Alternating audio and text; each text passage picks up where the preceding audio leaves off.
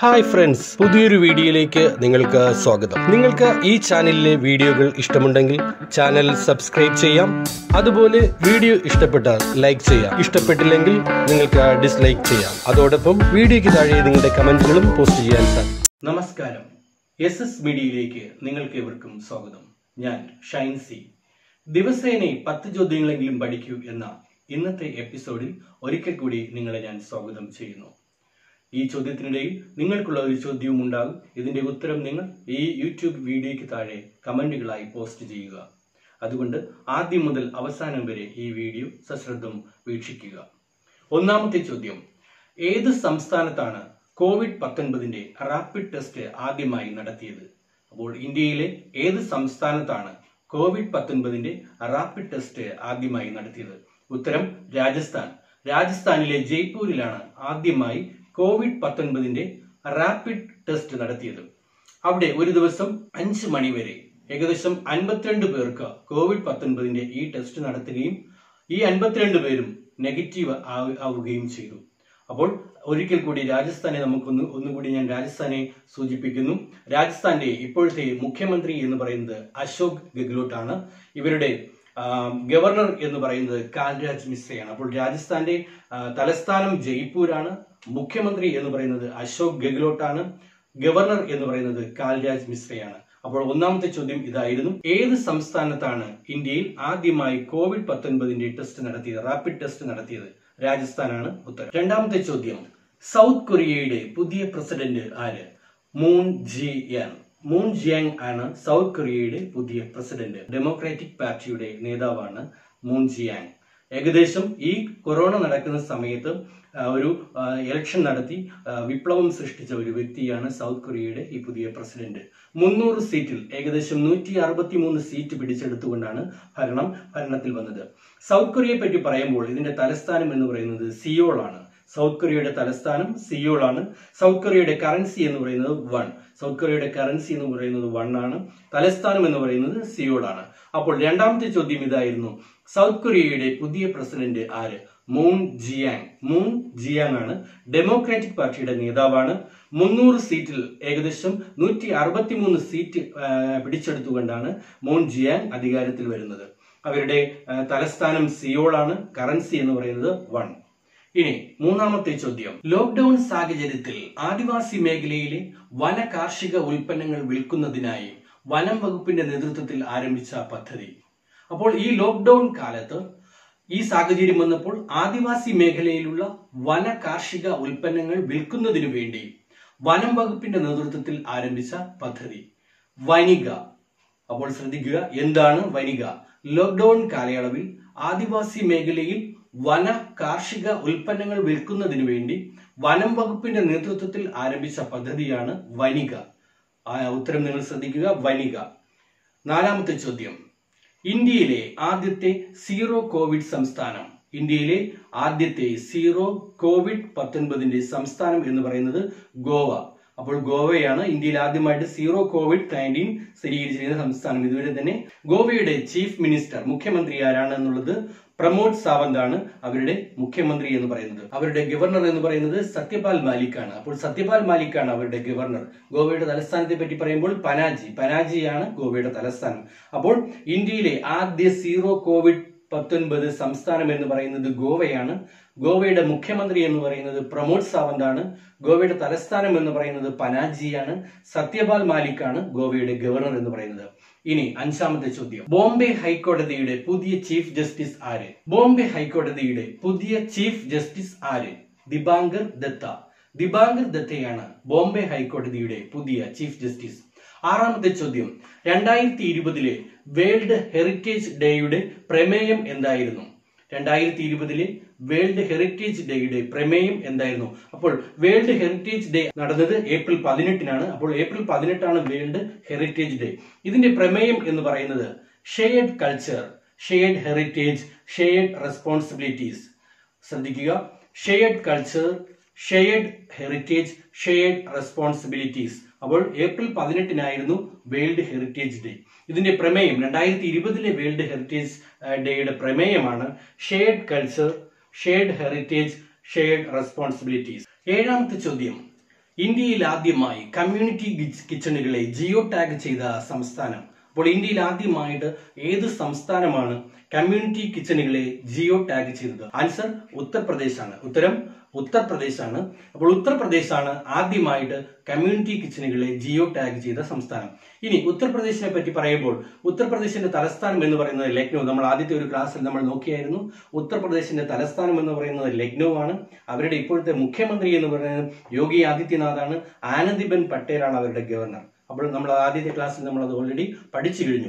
നമ്മുടെ ക്വസ്റ്റ്യൻ ഇതായിരുന്നു. ഇന്ത്യയിൽ ആദ്യമായി കമ്മ്യൂണിറ്റി കിച്ചണുകളെ ജിയോ ടാഗ് ചെയ്ത സംസ്ഥാനം. എട്ടാമത്തെ ചോദ്യം. ലോക്ക്ഡൌൺ സാഹചര്യത്തിൽ വിദ്യാർത്ഥികളെ പഠനത്തിൽ സഹായിക്കുന്നതിനായി state institute of educational technology ദൂരദർശനുമായി ചേർന്ന് ആരംഭിച്ച പദ്ധതി. അപ്പോൾ എന്ത് പദ്ധതിയാണ് ഈ ലോക്ക്ഡൌൺ സാഹചര്യത്തിൽ വിദ്യാർത്ഥികളെ അവരുടെ പഠനത്തിൽ സഹായിക്കുന്നതിന് വേണ്ടി state institute of educational technology ദൂരദർശനുമായി ചേർന്ന് ആരംഭിച്ച പദ്ധതി? പദ്ധതിയുടെ പേരാണ് പൂട്ടാത്ത പാഠശാല. അപ്പോൾ പൂട്ടാത്ത പാഠശാല എന്ന പദ്ധതിയാണ് ഈ ലോക്ക്ഡൌൺ സാഹചര്യത്തിൽ വിദ്യാർത്ഥികളെ അവരുടെ പഠനത്തിൽ സഹായിക്കുന്നതിന് വേണ്ടി സ്റ്റേറ്റ് ഇൻസ്റ്റിറ്റ്യൂട്ട് ഓഫ് എഡ്യൂക്കേഷണൽ ടെക്നോളജിയും അതുപോലെ ദൂരദർശനുമായി ചേർന്ന് ആരംഭിച്ച പദ്ധതി. ഒൻപതാമത്തെ ചോദ്യം. ലോക്ക്ഡൌൺ സാഹചര്യത്തിൽ കർഷകരെ സഹായിക്കുന്നത് ലക്ഷ്യമാക്കി ശ്രീകാര്യത്ത് പ്രവർത്തിക്കുന്ന കേന്ദ്ര കിഴങ്ങുവിള ഗവേഷണ കേന്ദ്രം വികസിപ്പിച്ച ഓൺലൈൻ മാർക്കറ്റിംഗ് പ്ലാറ്റ്ഫോം ഏത്?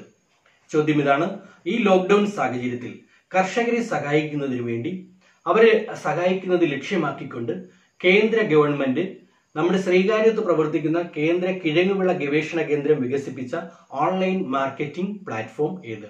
ഹോംസ് എന്നാണ് അതിന്റെ പേര്. H O M S HOMS എന്നാണ് അതിന്റെ പേര്. അതിന്റെ ഫുൾ നെയിം എന്ന് എന്ന് പറയും ഫുൾ നെയിം എന്ന് പറയുന്നത് horticulture crops online marketing system HOMS. Horticulture crops online marketing system എന്നാണ് പറയുന്നത്. ഇതിപ്പോൾ ഹോംസ് ആണ് ഈ ലോക്ക്ഡൌൺ സാഹചര്യത്തിൽ കർഷകരെ സഹായിക്കുന്നതിനായിട്ട് അത് ലക്ഷ്യമാക്കിക്കൊണ്ട് ശ്രീകാര്യത്ത് പ്രവർത്തിക്കുന്ന കേന്ദ്ര കിഴങ്ങുവിള ഗവേഷണ കേന്ദ്രം വികസിപ്പിച്ചെടുത്തിരിക്കുന്ന ഓൺലൈൻ മാർക്കറ്റിംഗ് പ്ലാറ്റ്ഫോം പത്താമത്തെ ക്വസ്റ്റ്യൻ കൊറോണ ബാധിച്ച് സ്പെയിനിൽ വെച്ച് മരിച്ച ചിലി എന്ന് പറഞ്ഞ രാജ്യത്തെ പ്രശസ്തനായ എഴുത്തുകാരൻ ആരാണ്? ഈ കൊറോണയുമായി ബന്ധപ്പെട്ട് സ്പെയിനിൽ വെച്ച് ചിലിയുടെ ഒരു പ്രശസ്തനായിട്ടുള്ള എഴുത്തുകാരൻ മരിക്കുകയുണ്ടായി. ആ എഴുത്തുകാരൻ ആരാണ്? ലൂയിസ് സെബിൾവേദ. ലൂയിസ് സെബിൾവേദയാണ് തന്റെ എഴുപതാമത്തെ വയസ്സിൽ ഇപ്പോൾ സ്പെയിനിൽ വെച്ച് മരണപ്പെട്ടത്. അദ്ദേഹം ആയിരത്തി തൊള്ളായിരത്തി നാൽപ്പത്തി ഒൻപത് ഒക്ടോബർ നാലിനാണ് ജനിച്ചത്. ഓവലിലെ ലിമാരി പ്രൊവിൻസിലെ ചിലിയിലെ ലിമാരി പ്രൊവിൻസിൽ ഓവെല്ലെ എന്ന് പറയുന്ന സ്ഥലത്ത് ജനിച്ച ഒരു വ്യക്തിയായിരുന്നു. ഇരുപത്തി അഞ്ചാം തീയതി ഫെബ്രുവരി ഇരുപത്തി അഞ്ചാം തീയതി രണ്ടായിരത്തി ഇരുപതിൽ ഫെബ്രുവരി ഇരുപത്തി അഞ്ചാം തീയതി അദ്ദേഹം അദ്ദേഹം പോർച്ചുഗലിൽ നിന്ന് ഒരു ലിറ്റററി ഫെസ്റ്റിവലിൽ കഴിഞ്ഞ് മടങ്ങി വരുമ്പോഴാണ് അദ്ദേഹത്തിന് കോവിഡ് ബാധിക്കുന്നത്. ഉടൻ തന്നെ അദ്ദേഹത്തെ സ്പെയിനിലെ ഹോസ്പിറ്റലിൽ പ്രവേശിക്കുകയും പിന്നെ ആ സ്റ്റേജിൽ നിന്ന് ക്രിട്ടിക്കലിലേക്ക് മാറുകയും അദ്ദേഹം ഇപ്പോൾ മരണപ്പെടുകയും ചെയ്തു. ചിലിയെ പറ്റി പറയുമ്പോൾ ചിലിയുടെ പ്രസിഡന്റ് എന്ന് പറയുന്നത് സെബാസ്റ്റിൻ പിനേരയാണ്. ചിലിയുടെ പ്രസിഡന്റ് എന്ന് പറയുന്നത് സെബാസ്റ്റിൻ പിനേര. ചിലിയുടെ ക്യാപിറ്റൽ എന്ന് പറയുന്നത് സാന്റിയോഗയാണ്. സാന്റിയോഗയാണ് ചിലിയുടെ ക്യാപിറ്റൽ എന്ന് പറയുന്നത്. കറൻസി എന്ന് പറയുന്നത് പേസോ. പേസോയാണ് അവിടുത്തെ കറൻസി എന്ന് പറയുന്നത്. അപ്പോൾ ചിലിയെ പറ്റി ഒരിക്കൽ കൂടി നമുക്ക് പറയാം. ഈ കൊറോണ പത്തൊൻപതുമായി ബന്ധപ്പെട്ട് കൊറോണ ബാധിച്ച് കോവിഡ് പത്തൊൻപതുമായി ബന്ധപ്പെട്ട് കൊറോണ ബാധിച്ച് സ്പെയിനിൽ വെച്ച് മരിച്ച ചിലിയുടെ പ്രശസ്ത എഴുത്തുകാരനാണ് ലൂയിസ് സെബിൾവേദ എന്ന് പറയുന്നത്. അദ്ദേഹം എഴുപതാമത്തെ വയസ്സിലാണ് മരിച്ചത്. പോർച്ചുഗലിൽ നിന്ന് ഒരു ഫെസ്റ്റിവൽ കഴിഞ്ഞ് മടങ്ങി വരുമ്പോഴാണ് അദ്ദേഹത്തിന് ഈ രോഗം സ്ഥിരീകരിക്കുന്നത്. അപ്പോൾ തന്നെ അത് മാർച്ച് പത്തോടുകൂടി അദ്ദേഹത്തിന് രോഗം ക്രിട്ടിക്കൽ അവസ്ഥയിലാവുകയും ചെയ്തു. അപ്പോൾ ചിലിയുടെ തലസ്ഥാനം എന്ന് പറയുന്നത് സാന്റിയാഗോയാണ്. അവരുടെ കറൻസി എന്ന് പറയുന്നത് പെസോയാണ്. അവരുടെ പ്രസിഡന്റ് എന്ന് പറയുന്നത് സെബാസ്റ്റ്യൻ ബെനോവരെയാണ് അവരുടെ പ്രസിഡന്റ് എന്ന് പറയുന്നത് ചിലിയുടെ പ്രസിഡന്റ്. നമുക്ക് ഇനി ഒന്ന് മുതൽ ഈ പത്ത് ചോദ്യങ്ങളും ഒന്നുകൂടി നമുക്ക് റിവൈൻഡ് ചെയ്യാം. ഒന്നാമത്തെ ചോദ്യം നമ്മൾ പറഞ്ഞത് ഏത് സംസ്ഥാനമാണ് കോവിഡ് പത്തൊമ്പതിന്റെ റാപ്പിഡ് ടെസ്റ്റ് ആദ്യമായിട്ട് നടത്തിയത് എന്ന് പറഞ്ഞാൽ രാജസ്ഥാനാണ്. കോവിഡ് ഏത് സംസ്ഥാനമാണ് കോവിഡ് പത്തൊൻപതിന്റെ ഈ റാപ്പിഡ് ടെസ്റ്റ് ആദ്യമായി നടത്തിയത് രാജസ്ഥാൻ. രണ്ടാമത്തെ ചോദ്യം സൗത്ത് കൊറിയയുടെ പുതിയ പ്രസിഡന്റ് മൂൺ ജിയോങ്. സൗത്ത് കൊറിയയുടെ പുതിയ പ്രസിഡന്റ് മൂൺ ജിയോങ്. മൂന്നാമത്തെ ക്വസ്റ്റ്യൻ ഈ ലോക്ക്ഡൌൺ സാഹചര്യത്തിൽ ആദിവാസി മേഖലയിലെ വന കാർഷിക ഉൽപ്പന്നങ്ങൾ വിൽക്കുന്നതിനായി വനം വകുപ്പ് ആരംഭിച്ച വനം വകുപ്പിന്റെ നേതൃത്വത്തിൽ ആരംഭിച്ച പദ്ധതി ഏതാണ്? വനിക. അപ്പോൾ വനികയാണ് ഈ ലോക്ക്ഡൌൺ സാഹചര്യത്തിൽ വനം വകുപ്പിന്റെ നേതൃത്വത്തിൽ ആദിവാസി മേഖലയിൽ വന കാർഷിക ഉൽപ്പന്നങ്ങൾ വിൽക്കുന്നതിന് വേണ്ടി ആരംഭിച്ച പദ്ധതി എന്ന് പറയുന്നത് വനിക. ഇനി ഇന്ത്യയിലെ ആദ്യത്തെ സീറോ കോവിഡ് പത്തൊൻപത് സംസ്ഥാനം എന്ന് പറയുന്നത് ഗോവയാണ്. അടുത്ത അഞ്ചാമത്തെ ക്വസ്റ്റ്യൻ എന്ന് പറയുന്നത് ബോംബെ ഹൈക്കോടതിയുടെ പുതിയ ചീഫ് ജസ്റ്റിസ് ആര്? ദിബാങ്കർ ദത്ത. ദിബാങ്കർ ദത്തയാണ് ബോംബെ ഹൈക്കോടതിയുടെ പുതിയ ചീഫ് ജസ്റ്റിസ് അടുത്ത ആറാമത്തെ ക്വസ്റ്റ്യൻ രണ്ടായിരത്തി ഇരുപതിലെ വേൾഡ് ഹെറിറ്റേജ് ഡേയുടെ പ്രമേയം എന്താണ്? അപ്പൊ വേൾഡ് ഹെറിറ്റേജ് ഡേ പതിനെട്ടാണ്. ഏപ്രിൽ പതിനെട്ടാണെന്ന് പറഞ്ഞു. Shared culture shared heritage shared responsibilities. ഇതാണ് അതിന്റെ പ്രമേയം എന്ന് പറയുന്നത്. ഇനി ഏഴാമത്തെ ക്വസ്റ്റ്യൻ എന്ന് പറയുന്നത് ഇന്ത്യയിൽ ആദ്യമായിട്ട് കമ്മ്യൂണിറ്റി കിച്ചണുകളെ ജിയോ ടാഗ് ചെയ്ത സംസ്ഥാനം ഉത്തർപ്രദേശ് ആണെന്ന് പറഞ്ഞു. അവരുടെ മുഖ്യമന്ത്രി യോഗി ആദിത്യനാഥാണ് ഗവർണർ ആനന്ദിബെൻ പട്ടേലെയാണ് അവരുടെ തലസ്ഥാനം എന്ന് പറയുന്നത് ലക്നൌ ആണ്. ഇനി എട്ടാമത്തെ ക്വസ്റ്റ്യൻ നമ്മൾ പറഞ്ഞ ലോക്ക്ഡൌൺ സാഹചര്യത്തിൽ വിദ്യാർത്ഥികളെ അവരുടെ പഠനത്തിൽ സഹായിക്കുന്നതിന് വേണ്ടി state institute of educational technology ദൂരദർശനുമായി ചേർന്ന് ആരംഭിച്ചിരിക്കുന്ന പദ്ധതി എന്താണ്? കൂട്ടാത്ത പാഠശാല.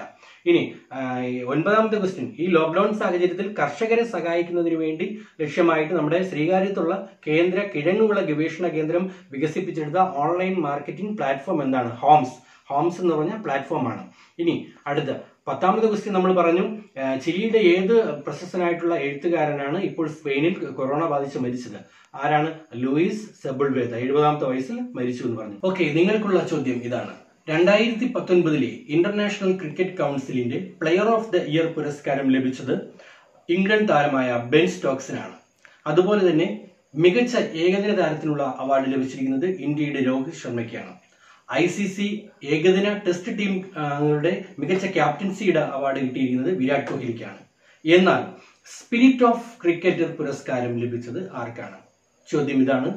രണ്ടായിരത്തി പത്തൊൻപതിലെ ഇന്റർനാഷണൽ ക്രിക്കറ്റ് കൗൺസിലിന്റെ പ്ലെയർ ഓഫ് ദി ഇയർ പുരസ്കാരം ലഭിച്ചത് ബെൻ സ്റ്റോക്സിനാണ് മികച്ച ഏകദിന താരത്തിനുള്ള പുരസ്കാരം ലഭിച്ചത് രോഹിത് ശർമ്മയ്ക്കാണ്. ഐ സി സി ടെസ്റ്റ് ടീമിന്റെയും ഏകദിന ടീമിന്റെയും മികച്ച ക്യാപ്റ്റൻസി അവാർഡ് കിട്ടിയിരിക്കുന്നത് നമ്മുടെ ഇന്ത്യയുടെ വിരാട് കോഹ്ലിക്കാണ്. എന്നാൽ സ്പിരിറ്റ് ഓഫ് ക്രിക്കറ്റ് പുരസ്കാരം ലഭിച്ചത് ആർക്കാണ്?